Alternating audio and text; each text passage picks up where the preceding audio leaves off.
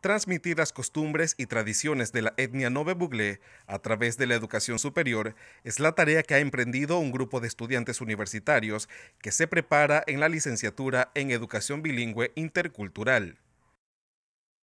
Nos abre una plaza de trabajo muy importante porque somos Nove y nosotros tenemos que seguir resaltando nuestra cultura y nuestro idioma. Es por eso que esa carrera pues, es muy importantísima dentro de nuestra universidad.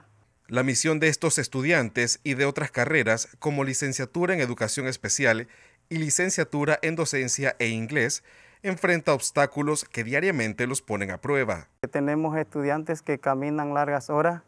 Eh, por ahora la, la calle está habilitada, pero antes no existía la carretera. Aún así tenemos chicos que caminan largas distancias y realmente es un gran sacrificio que hacen nuestros estudiantes para llegar hasta aquí porque tienen que caminar, cruzar quebradas, ríos, ¿verdad? enfrentando diversas vicisitudes.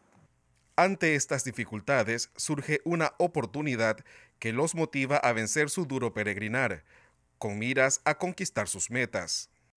La importancia de mantener la cultura en nuestros pueblos originarios también se basa en la educación, por lo tanto carreras como eh, la licenciatura, en lenguaje intercultural definitivamente eh, sigue promoviendo que se rescate y que se mantenga y que se afirme eh, la cultura de nuestros pueblos indígenas y de nuestros pueblos originarios en todo el país.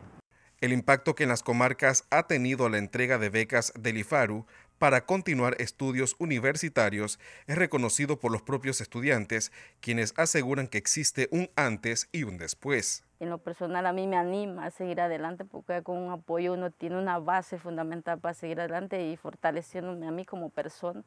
Así que eh, yo estoy muy agradecida con ese apoyo del, del IFARO.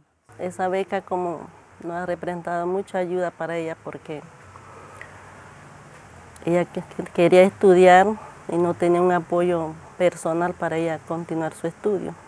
Y esa beca la ayudaba en muchas cosas.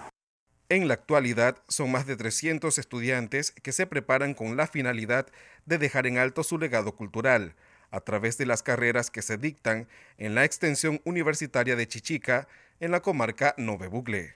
Einar Valdés López, Next Noticias.